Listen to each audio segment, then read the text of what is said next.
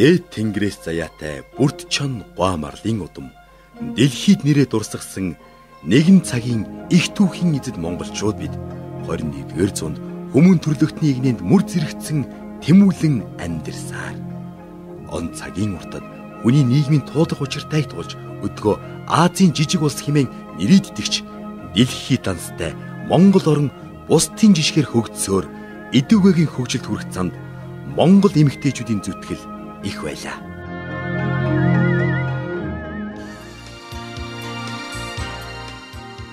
Улаанбаатар хотын эмэгтэйчүүдийн зөвлөл нь 1926 онд байгуулагдсан хотын эмэгтэйчүүдийн байгууллагын суурин дээр уламжлагдаж хөгжиж ирсэн сайн дурын үндснээр эвлэлтэн нэгдсэн эмэгтэйчүүдийн олон нийтийн нийгэмд үйлчлдэг ашигын бус байгууллага юм.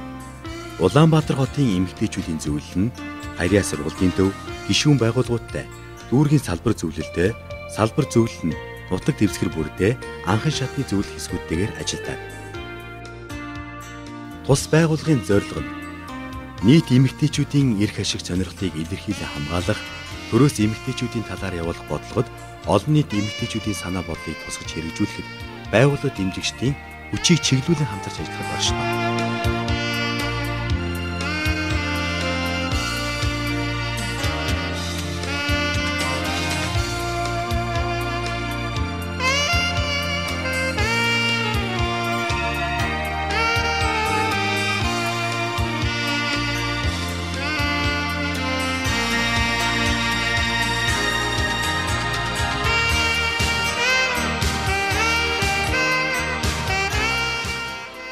Финлянд улсын Булан байгууллагын Монгол дахь суурин төлөөлөгчийн газар Монгол улсын хууль зүйн дотоод хэргийн яамд 2001 онд бүртгэгдсэн ашиг үл хорлох төрийн бос байгууллага юм. Булан байгууллага нь дэлхийн 8 орнд хүмүүнлэгийн хөтөлбөр хэрэгжүүлэгчдийн нэг нь Монгол улс юм.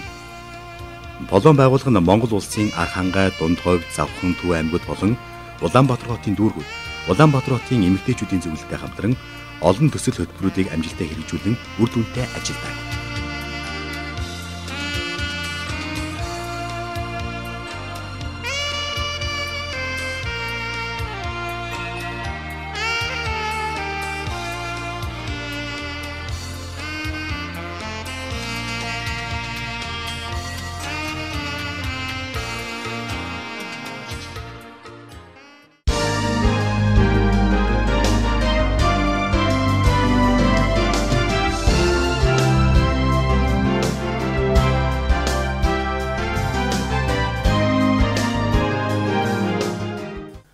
Хөдөө орон нутгаас шилжин ирж зүрсэн боловч иргэний ямар нэгэн бичиг баримтгүй амьдралын төвшин доогуур орлого багтай 60 өрхийн эмэгтэйчүүдэд хотын соёлын дадал хөгжлийг төлөвшүүлэх, иргэний бичиг баримтаа баталгаажуулахад туслах, эрүүл мэндийн даатгалд хамруулах, иргэний эрх үүргийн талаар хууль зүйн зөв мэдээлэл сурчлагааг хүргэх, мэрэгжлийн чиг баримжаатай сургалтуудад өөрийнх нь хүсэлтийг харгалзан хамруулах замаар мэрэгжил эзэмшүүлэн улмаар ажил эрхлэхтэн тусалж өрхийн орлоготой болох буюу орлогоо нэмэгдүүлэхэд нь дэмжлэг үзүүлэхэд оршино.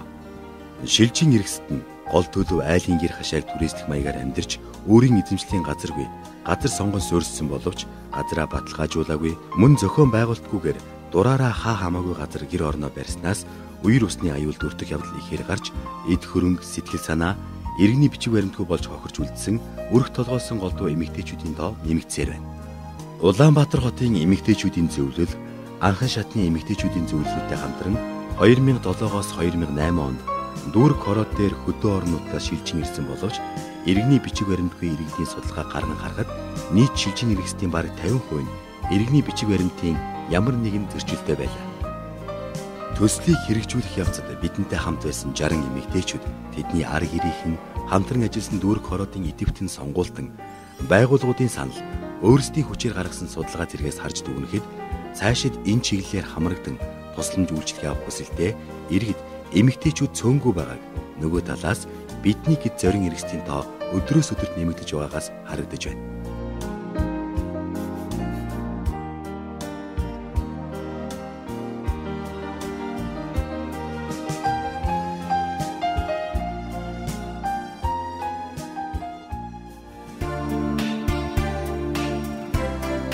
Шин түлхүүр төсөл нь хагас жил тутамд 20-40 насны 60 эмэгтэйг тухайн дүүргийн засаг захиргааны анхдагч нэгж болох хорооны дарга болон нийгмийн ажилтнуудын оролцоотойгоор тэдний судалгааны материалыг үндэслэн сонгоо авч төсөлд хамруулан хамтран ажилладаг.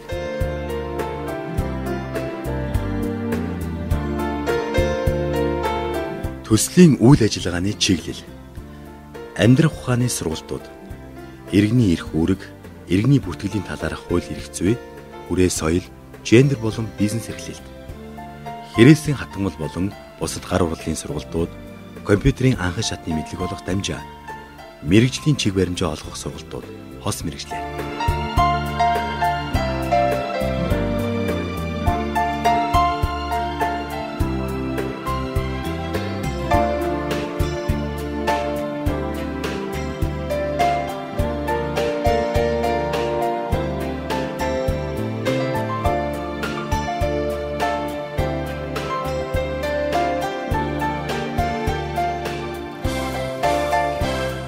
Төсөл нь 2009 онд 2 үе шаттаагаар Баянгол дүүргийн 10, 11, 16 дугаар хооронд хэрэгжиж иргэний бичиг баримтгүй буюу иргэний бичиг баримт огт авч байгаагүй нийт 60 эмэгтэйчүүдийг төсөлд хамруулан хамтран ажиллаад байна.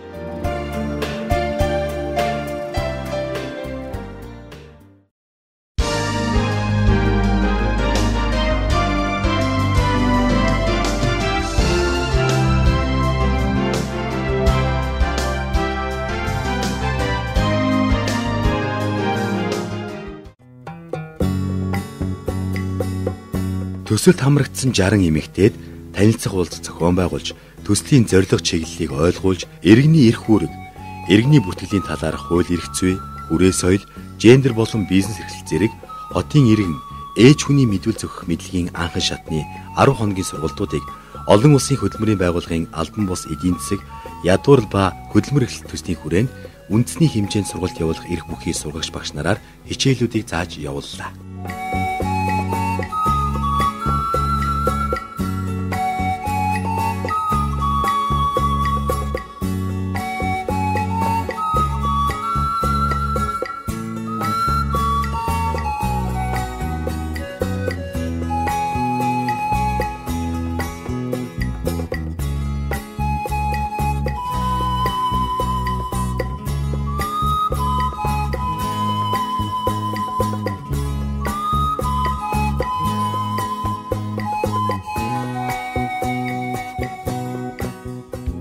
Намайг Сэлэнг сайхан гэдэг би Улаанбаатар хотын эмэгтэйчүүдийн зөвлөлийн дэрэгдэх сургалтын цугаад айгүй олон зүйлийг мэдэж авсан. Тэгээд энэ сургалтын цууснаар надад нөлөөлсөн юм гэвэл хоол хийж чаддгүй байсан бол хоол хийж сурсан. Айгүй олон зүйлийг мэдэж аваад зөндөө олон сургалтанд сурсан. Тэгээ энэ сургалтанд сурсандаа маш их баяртай байгаа. Тэгээд дараа дараагийнхаа сургалтанд сууж байгаа улсуудад амжилт хүсье. Улаанбаатар хотын эмэгтэйчүүдийн зөвлөлийн дарга цогмоо агш нараа агштай маш их баярлалаа гэж хэлмээр байна.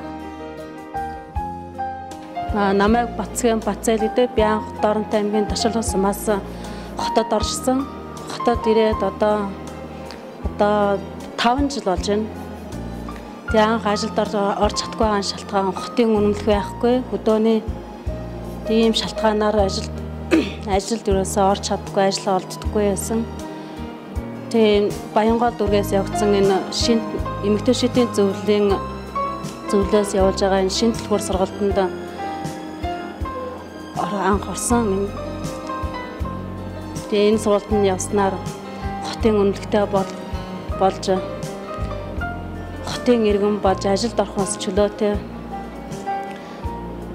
бас тоошин курсд тоош нарийн борсны курс курснээ сургалцсан суусан.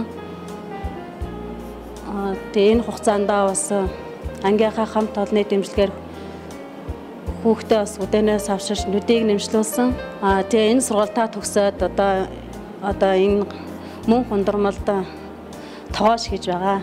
Аа энэ сургалтанд анх оруулж гисэн хорооны дарагдаа тэгээд сургалт нь сургалтны багш наран засаг багш цолмон багш Тэгээ бас полон байгууллагатаа маш их баярлаа. Тэгээ цаашдаа бас одоо сурч байгаа сурагчдаа бас амжилт хүсье.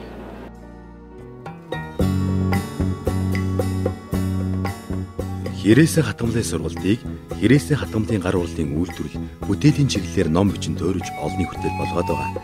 Ажлын болоод мэрэгжлийн дадлаг туршлагатай багш бурмаа явуулсан бөгөөд төслийн хугацаанд эмэгтэйчүүд нэгээс хоёр Хэрээсээ хатамлын өөрийн гэсэн бүтээл гаргасан юм а. Төслөөр эмэгтэйчүүдийн уралсан бүтээлийг бүтээлийн хэмжээнд жаазлан өөрсдөд нь дурсгал болгон үлдээсэн нь тэдний идэвхийг өрнүүлсэн цаашид хийж бүтээх гэсэн хүслийг төрүүлсэн ажил болсон юм.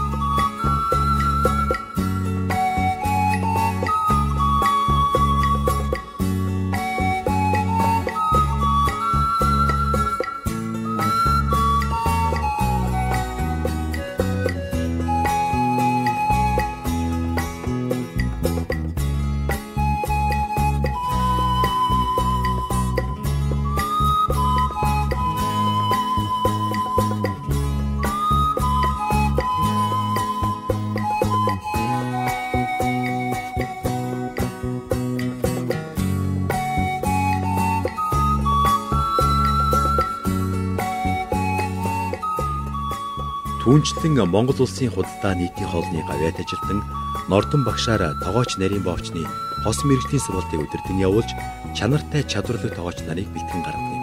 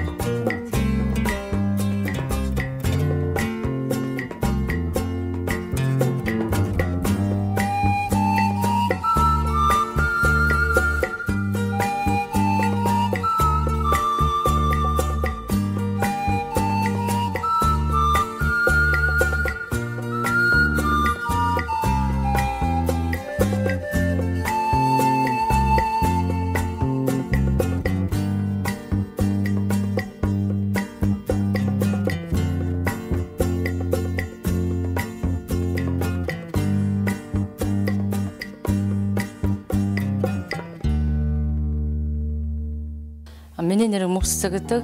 Бид нар бол нийслэлийн Улаанбаатар хотын эмэгтэйчүүдийн зөвлөл Финландын болон байгууллагын төслөөр ингэж хэрэгжсэн.